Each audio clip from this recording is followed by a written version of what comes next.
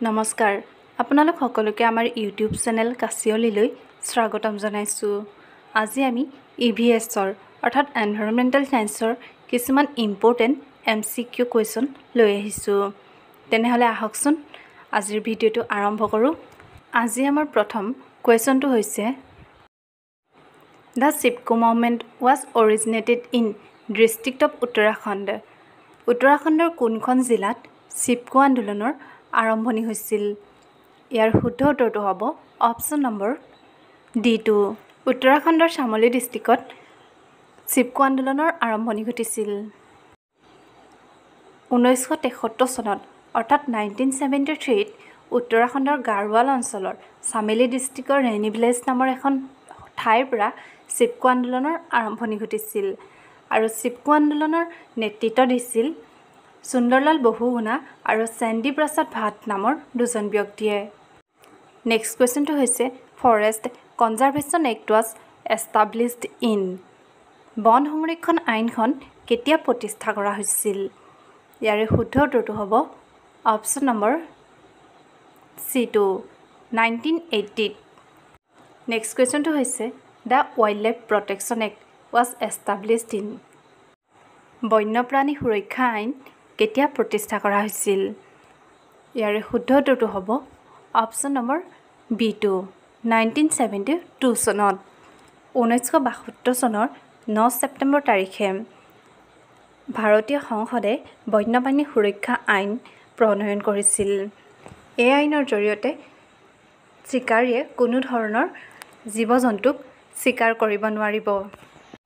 Next কুৱেশ্যনটো হৈছে which of the following is a fossil fuel তলৰ কোনটো জীৱাশ্ম ইন্ধনৰ উদাহৰণ। ইয়াৰে শুদ্ধ উত্তৰটো হ'ব অপশ্যন নম্বৰ বি টু কইল অৰ্থাৎ কয়লা। নেক্সট কুৱেশ্যনটো হৈছে which one of the following is the largest ecosystem of the earth তলৰ কোনটো পৃথিৱীৰ আটাইতকৈ ডাঙৰ পৰিৱেশতন্ত্ৰ ইয়াৰে শুদ্ধ উত্তৰটো হ'ব option number D two biosphere অৰ্থাৎ জীৱমণ্ডল। নেক্সট কুৱেশ্যনটো হৈছে the biodiversity act was passed by the Indian parliament in জৈৱ বৈচিত্ৰ্য আইনখন ভাৰতীয় সংসদে কেতিয়া গৃহীত কৰিছিল? ইয়াৰে শুদ্ধ উত্তৰটো হ'ব অপশ্যন নম্বৰ বি টু দুহেজাৰ দুই চনৰ ডিচেম্বৰ মাহত।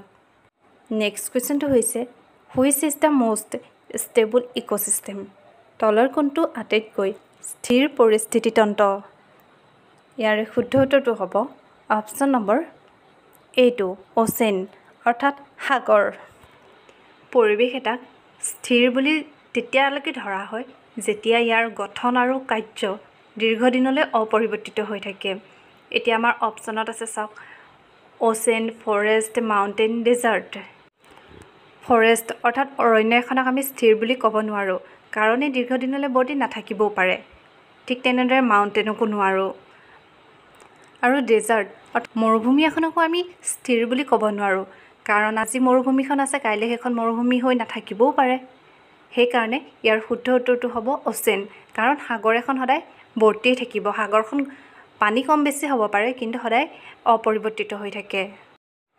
নেক্সট কুৱেশ্যনটো হৈছে which one of the following is not a human made environment নিম্নলিখিত কোনটো মানৱ নিৰ্মিত পৰিৱেশ নহয়? ইয়াৰে অপশ্যনকেইটা চাই আপোনালোকে নিশ্চয় ধৰিব পাৰিছে আনচাৰটো। আৰু ইয়াৰে শুদ্ধ উত্তৰটো হ'ব option number C two lake অৰ্থাৎ হ্ৰদ। নেক্সট কুৱেশ্যনটো হৈছে which one of the following is not a major component of biotic environment নিম্নলিখিত কোনটো জৈৱিক পৰিৱেশৰ এটা মুখ্য উপাদান নহয়? অপশ্যনত আছে plant animal decomposer and water আৰু ইয়াৰে শুদ্ধ উত্তৰটো হ'ব অপশ্যন নম্বৰ ডি টু। উদ্ভিদ প্ৰাণী আৰু বিয়োজক এই তিনিওটাই জৈৱিক পৰিৱেশৰ উপাদান। নেক্সট কুৱেশ্যনটো হৈছে what is a system of interlocking and interdependent food chain called দৃঢ় আৰু পাৰস্পৰিক নিৰ্ভৰশীল খাদ্য শৃংখলৰ প্ৰণালীটোক কি বুলি কোৱা হয়? ইয়াৰে শুদ্ধ option number C two food web অৰ্থাৎ খাদ্যজাল খাদ্য শৃংখল আৰু খাদ্যজাল দুটা বেলেগ বস্তু। খাদ্য শৃংখল হৈছে খাদ্য উৎপাদকৰ পৰা শেষত মাংসহাৰীৰ ওচৰলৈ শক্তিৰ এক পৰম্পৰাগত প্ৰৱাহ ধৰক প্ৰথমতে ঘাঁহ বন আছে। সেই ঘাঁহ বনক খাইছে কোনে? ফৰিঙে। ফৰিঙক খাইছে চৰায়ে চৰাইক খাইছে সাপে। সাপক খাইছে ঈগলে। ঠিক তেনেদৰে যি এক ৰৈখিক চক্ৰম। এই ৰৈখিক প্ৰবাহটোক কোৱা হয় ফুড চেইন অৰ্থাৎ খাদ্য শৃংখল। আনহাতে খাদ্য জাল হৈছে। বহু খাদ্য শৃংখলৰ সংযোগত সৃষ্টি হোৱা এক জটিল জালিকা যি দেখুৱায় যে এটা পৰিস্থিতিতন্ত্ৰত বিভিন্ন জীৱই কিদৰে খাই জীৱন নিৰ্বাহ কৰে। মই পিকচাৰখনত দি থৈছোঁ চাওক। একেটা প্ৰাণীকে বা একেটা বস্তুকে কেইবাটাও অৰ্থাৎ বহুকেইটা জীৱই একেলগতে ভক্ষণ কৰিব পাৰে। উদাহৰণস্বৰূপে মাছক ভেকুলী মানুহ মাছৰোকা সাপ আদি বিভিন্ন প্ৰাণীয়ে ভক্ষণ কৰে। সেয়েহে মাছৰ খাদ্য শৃংখলটিক খাদ্য জাল হিচাপে বিবেচিত কৰা হয়। আৰু এই পিকচাৰটোত দেখিছে আপোনাৰ ঘাঁহক ফৰিঙেও খাইছে ৰেবিট সহায়ো খাইছে ঠিক তেনেদৰে নিগনিও খাইছে। মানে একেটা বস্তুকে বহুকেইটাই ভক্ষণ কৰিব। নেক্সট কুৱেশ্যনটো হৈছে in which of the following years Narmada Bachao Andolan started নিম্নলিখিত কোনটো বছৰত নৰ্মদা বচাও আন্দোলনৰ আৰম্ভণি হৈছিল? ইয়াৰে শুদ্ধ উত্তৰটো হ'ব option number B two nineteen eighty five Narmada Bachao Andolan হৈছে নৰ্মদা নদীৰ ওপৰত নিৰ্মাণ কৰিবলৈ লোৱা বৃহৎ নদী বান্ধৰ বিৰুদ্ধে ঊনৈছশ পঁচাশী চনত আৰম্ভ কৰা বৃহৎ শক্তিশালী গণ আন্দোলন আৰু এই আন্দোলনৰ নেতৃত্ব দিছিল মেধা পাটকাৰে। নেক্সট কুৱেশ্যনটো হৈছে which dam is the highest dam in India তলৰ কোনটো বান্ধ ভাৰতৰ সৰ্ববৃহৎ বান্ধ? নদী বান্ধ। অপশ্যন এইত আছে টেহৰী ডেম। অপশ্যন বিত আছে ভাকৰা নাংগল ডেম। অপশ্যন চিত আছে চৰ্দাৰ সৰোবৰ ডেম। আৰু অপশ্যন ডিত আছে নাগাৰ্জুনা সাগৰ ডেম। ভাকৰা নাংগল ডেম হিমাচল প্ৰদেশত আছে আৰু এই ডেমটো সতলুজ নদী অৰ্থাৎ শত্ৰুদ্ৰ নদীৰ ওপৰত আছে। চৰ্দাৰ সৰোবৰ ডেম। এই ডেমটো নৰ্মদা ৰিভাৰৰ ওপৰত আছে আৰু নাগাৰ্জুনা সাগৰ। এই ডেমটো অন্ধ্ৰপ্ৰদেশ আৰু তেলেংগানা দুয়োখন ৰাজ্যতে পৰে আৰু ই কৃষ্ণা নদীৰ ওপৰত আছে। আৰু এই কুৱেশ্যনটোৰ শুদ্ধ উত্তৰটো হ'ব option number A Tehri dam. Tehri dam ভাৰতৰ সৰ্বোচ্চ নদী বান্ধ আৰু এই নদী বান্ধটো উত্তৰাখণ্ডৰ ভাগীৰথী নদীৰ ওপৰত আছে। নেক্সট কুৱেশ্যনটো হৈছে greenhouse effect refers to greenhouse প্ৰভাৱ বুলিলে কি বুজায়? ইয়াৰে শুদ্ধ উত্তৰটো হ'ব option number C two warming of earth অৰ্থাৎ পৃথিৱীৰ উষ্ণতা বৃদ্ধি। সেউজগৃহ প্ৰভাৱ হৈছে এনে এটা প্ৰক্ৰিয়া য'ত বায়ুমণ্ডলৰ কিছুমান গেছে সূৰ্যৰ পৰা অহা তাপ আবদ্ধ কৰি ৰাখে যাৰ ফলত আমাৰ পৃথিৱীখন উষ্ণ হৈ পৰে অৰ্থাৎ গৰম হৈ পৰে। বায়ুমণ্ডল উত্তপ্ত কৰা এই গেছবোৰক সেউজগৃহ গেছ নামেৰে জনা যায়। আৰু কেইটামান সেউজগৃহ গেছ আছে। Water vapour carbon dioxide methane nitrous oxide ozone ইত্যাদি। নেক্সট কুৱেশ্যনটো হৈছে world water day is celebrated on পৃথিৱীৰ জল দিৱস কিমান তাৰিখে উদযাপন কৰা হয়? ইয়াৰে শুদ্ধ উত্তৰটো হ'ব option number B two twenty two March. প্ৰতিটো দিৱসৰ লগত জড়িত থিমবোৰ জনাটো বহুত গুৰুত্বপূৰ্ণ যিবোৰ পৰীক্ষাত আহি থকা প্ৰায় দেখা যায়।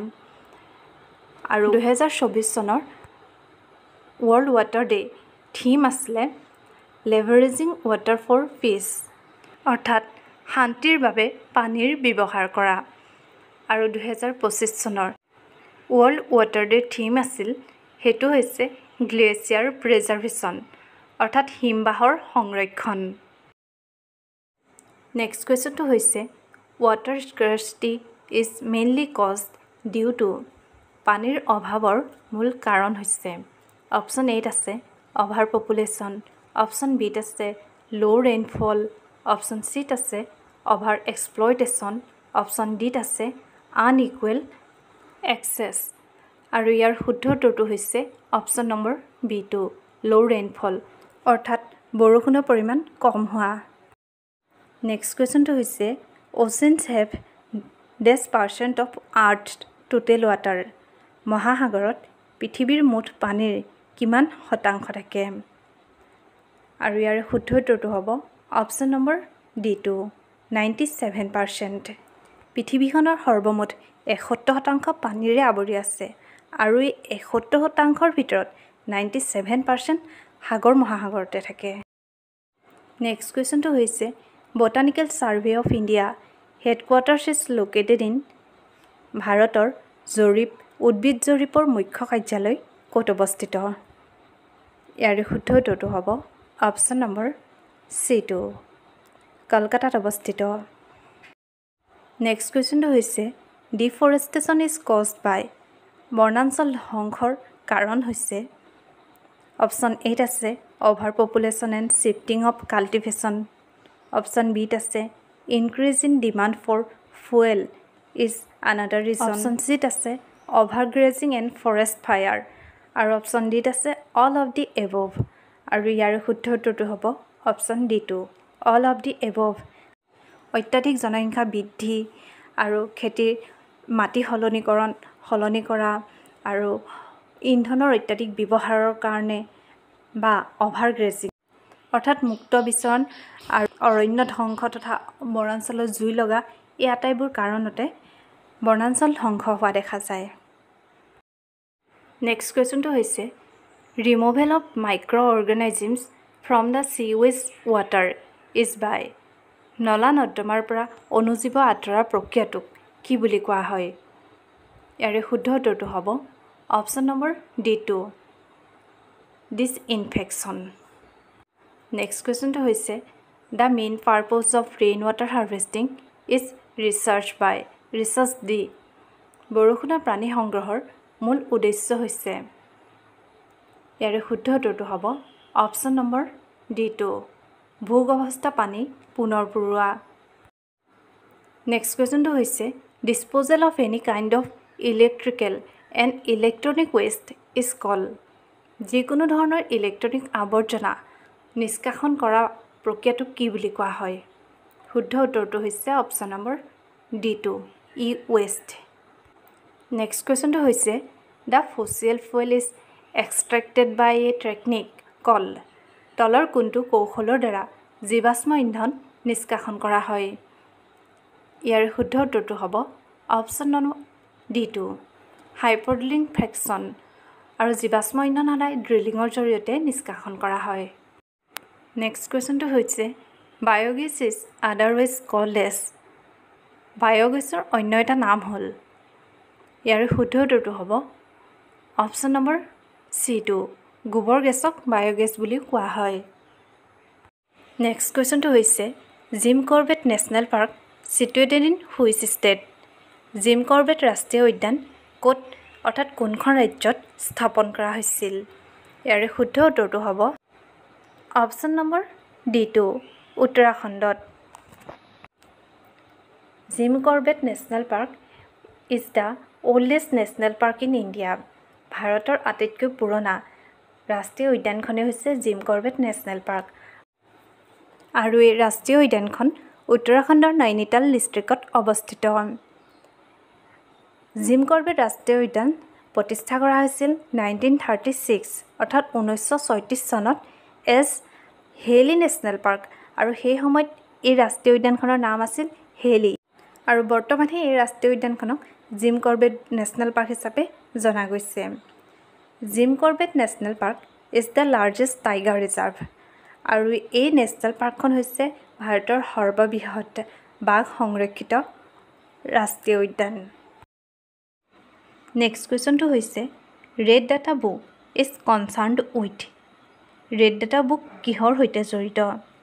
ইয়াৰে শুদ্ধ উত্তৰটো হ'ব। Option number B two organisms and animals facing the danger of extinction অৰ্থাৎ বিলুপ্তিৰ পথলৈ গৈ থকা জীৱ জন্তু আৰু প্ৰাণীৰ বিষয়ে তথ্য সংৰক্ষণ কৰে। নেক্সট কুৱেশ্যনটো হৈছে biodiversity day is celebrated on which day জৈৱ বৈচিত্ৰ দিৱস কিমান তাৰিখে পালন কৰা হয়? ইয়াৰে শুদ্ধ উত্তৰটো হ'ব। Option number C two twenty two May' অৰ্থাৎ বাইছ মে' তাৰিখে পালন কৰা হয়। দুহেজাৰ চৌবিছ চনৰ জৈৱ বৈচিত্ৰ দিৱসৰ থীম আছিলে be part of the plan অৰ্থাৎ পৰিকল্পনাৰ অংশ হওক। আৰু দুহেজাৰ পঁচিছ চনৰ জৈৱ বৈচিত্ৰ দিৱসৰ থীম হ'ব harmony with nature and sustainable development মানে প্ৰকৃতিৰ সৈতে সমন্বয় আৰু বহনক্ষম বিকাশ তথা উন্নয়ন। আজিৰ এই ভিডিঅ'টোত ইমানখিনিয়ে আছিল কুৱেশ্যন। যদি ভিডিঅ'টো ভাল পালে লাইক কমেণ্ট কৰি দিব আৰু চেনেলটোত যদি প্ৰথমবাৰৰ বাবে আহিছে ছাবস্ক্ৰাইব কৰি কাষতে থকা বেল আইকনটো প্ৰেছ কৰি ল'বলৈ নাপাহৰিব। ধন্যবাদ।